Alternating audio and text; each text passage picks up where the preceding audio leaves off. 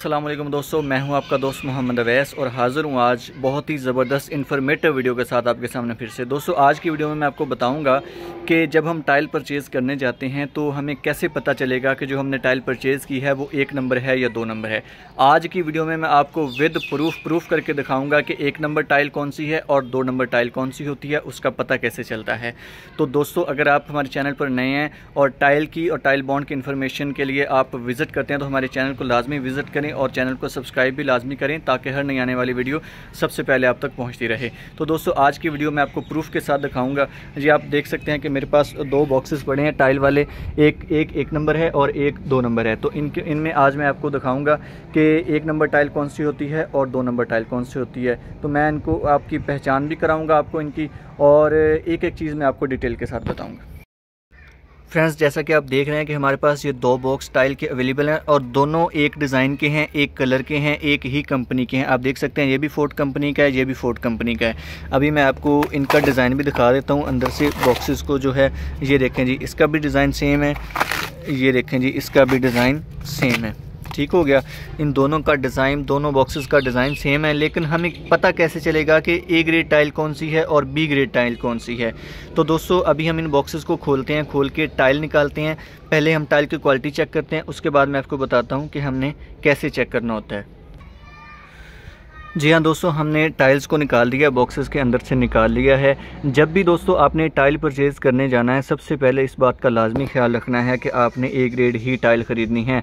बहुत काम चल रहा है आजकल कमर्शियल टाइल का, दो नंबर टाइल का, बहुत ज़्यादा ट्रेंड चल रहा है। बहुत से लोग जो हैं, पूरी गाड़ियाँ मंगवाते हैं, लेकिन पता भी नहीं चलता कि ये एक नंबर है या दो नंबर है और कुछ अरसे बाद उसका कलर फेड हो जाता है कलर ख़राब हो जाता है, जिसकी वजह से आपके सारे पैसे ज़ाया जाते हैं और आपको काफ़ी परेशानी का सामना करना पड़ता है। ये कि देखें जी दोस्तों ये एक नंबर टाइल है, एक ग्रेड वाली टाइल है, मैं आपको दिखा रहा हूँ। सेम क्वालिटी है, किसी भी चीज़ का कोई फ़र्क नहीं है। ये देखें जी, इसमें आप चेक कर सकते हैं।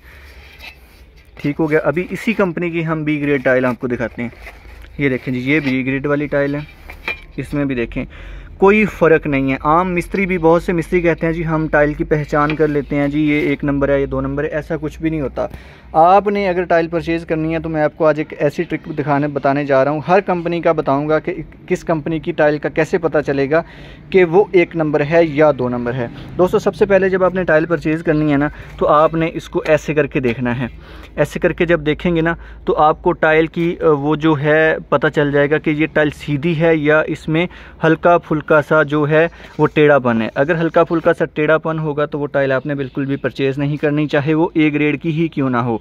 ए ग्रेड की टाइल ही क्यों ना हो, क्योंकि जब टाइल लगाते हैं वॉशरूम में बॉन्ड के साथ तो वो टाइल में जो खला रह जाता है, उसमें सही बॉन्ड फिक्स नहीं होता, ऊपर से पानी या कोई चीज़, हवा वगैरह जब जाती है तो वो टाइल फूल जाती है और वो दीवार को छोड़ देती है। जब दीवार को छोड़ देती है तो वो नीचे गिर जाती है, जिस वजह से सारी टाइलें आहिस्ता आहिस्ता नीचे गिर जाती हैं और आपका पूरा वॉशरूम जो है वो ख़राब हो जाता है।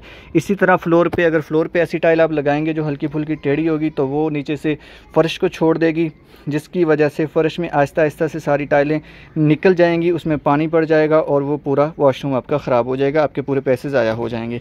अगर आप दूर से कहीं टाइल लेके आते हैं तो भी आपको मसला बनेगा, अगर आप कहीं करीब से वाली शॉप से लेते हैं फिर भी। अच्छा अभी हम आपको बी ग्रेड टाइल के बारे में बताते हैं, इसको भी आपने ऐसे चेक कर लेना है। बी ग्रेड टाइल का आपको दिखा रहे हैं कि बिल्कुल भी कोई फ़र्क नहीं होता। अभी हम आपको इसकी पहचान करवाते हैं कि बी ग्रेड टाइल की पहचान कैसे होती है? अच्छा बाज़ कंपनियों का तो लिखा होता है कि जी कमर्शियल टाइल बाज़ कंपनियों का ये जो लिखा हुआ है कमर्शियल टाइल कमर्शियल टाइल का मतलब होता है कि ये बी ग्रेड की टाइल है। ठीक हो गया? ये मैं आपको जूम करके दिखा रहा हूँ फोर टाइल कमर्शियल कुछ कंपनियाँ कमर्शियल लिख देती हैं, कुछ कंपनियाँ टाइल में पाँच ग्रेड आते हैं। मैं पाँच ग्रेड आपको बताता हूँ, सबसे पहले वाले को स्पर्ब कहते हैं, दूसरे वाले को स्टैंडर्ड कहते हैं, तीसरे वाले को कमर्शियल कहते हैं। चौथे वालों को प्रोजेक्ट कहते हैं और पाँचवें पाँचवें नंबर को इकॉनमी कहते हैं।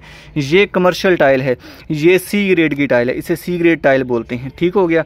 ये आपकी कमर्शियल टाइल जो है सी ग्रेड वाली टाइल है और सी ग्रेड में देखें, फ़र्क नहीं नज़र आ रहा। डिज़ाइन एक है, सारा कुछ एक है, सिर्फ़ कलर शेड का फ़र्क होगा। देखें जी इसके और उसके कलर में फ़र्क है या नहीं? आप लोगों को नज़र आ रहा होगा या नहीं आ रहा होगा, लेकिन मुझे वाज नज़र आ रहा है कि दोनों टायर्स में फ़र्क है कलर शेड में फ़र्क है। इसका कलर उन्होंने हल्का बनाया होता है, इस पर सिंगल पॉलिश की होती है बी ग्रेड वाले को, और ए ए ग्रेड वाले में पॉलिश अच्छी की होती है, उसका कलर अच्छा होता है। अच्छा ये तो हमें फोर्ट कंपनी का पता चल गया कि इस पर कमर्शियल लिखा होता है। अगर यहाँ पे स्टैंडर्ड टाइल हो तो यहाँ पे स्टैंडर्ड लिखा होगा, अगर कोई और हो तो वहाँ पे लिखा होता है। कुछ कंपनी ऐसी होती हैं, जैसे कि मास्टर हो गई टाइम कंपनी होगी। आजकल जो सबसे फ़ेमस कंपनियाँ चल रही हैं, वो यही दोनों चल रही हैं, मास्टर और टाइम चल रही हैं। तो उसका हमें कैसे पता चलेगा कि उसमें ए ग्रेड और बी ग्रेड कौन सी टाइल है? उसका ये होता है कि जब भी आप टाइल परचेज़ करते हैं ना तो उसके टाइल के ऊपर, ये इसके टाइल के ऊपर, यहाँ पे एक कॉर्नर पे ऐस इतना सा डब्बा बना होता है, इतना छोटा सा डब्बा। उस डब्बे को कलर किया होता है। अगर तो वो ग्रीन कलर का होगा तो ए ग्रेड है। अगर वो येलो कलर का होगा तो बी ग्रेड है स्टैंडर्ड है। अगर वो ब्लू कलर का होगा तो वो आपका डब्बा कमर्शियल होगा। उसके ऊपर भी कभी कभी कुछ मास्टर कंपनीज़ जो साइज़ बना रही हैं, कुछ साइज़ के ऊपर वो लिख देती हैं कि ये कमर्शियल है स्टैंडर्ड है, लेकिन कुछ बॉक्सेस के ऊपर इस तरह के निशान बने होते हैं। उस कलर से आपको पता चलेगा कि आपकी टाइल कौन सी क्वालिटी की आपने हमेशा जो है ग्रीन वाली ही सिलेक्ट करनी है। अगर आप ब्लू या कोई और सिलेक्ट करते हैं येलो वाली तो आपका वो कमर्शियल ग्रेड होगा आपको उसका पता नहीं चलेगा। जिस तरह ये फोर्ड कंपनी की टाइल है तो इन्होंने यहाँ पे लिखा हुआ है क्लासिक क्लासिक वाली जो टाइल होती है ए ग्रेड की होती है। कमर्शियल वाली जो होती है वो सी ग्रेड की होती है। स्टैंडर्ड वाली की स्टैंडर्ड वाली जो होती है वो बी ग्रेड की होती है।